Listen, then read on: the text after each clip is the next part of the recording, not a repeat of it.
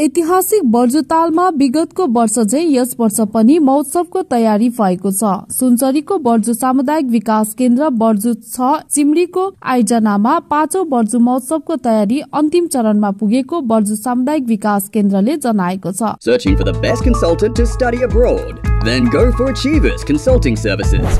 Most trusted and experienced over nine years. Achievers Consulting Services.